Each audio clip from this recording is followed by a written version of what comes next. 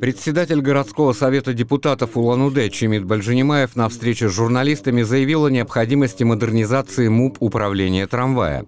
Это включает в себя и строительство новых боксов в депо, и современное оснащение ремонтных мастерских, а также регулярное обновление подвижного состава. С каждым годом людей, а именно пользующихся а, трамваем, гораздо больше становится. Тем более, что те льготы, которые мы, а, в том числе и депутаты Лондонского горсовета, смогли вернуть, а лет 10 которых не было, вот, да, вот, они помогают, чтобы именно люди пользоваться начали. Наши дети пользуются, да, вот инвалиды и участники СВО. Расходы на содержание и модернизацию МУП управления трамвая частично заложены в проекте нового городского бюджета.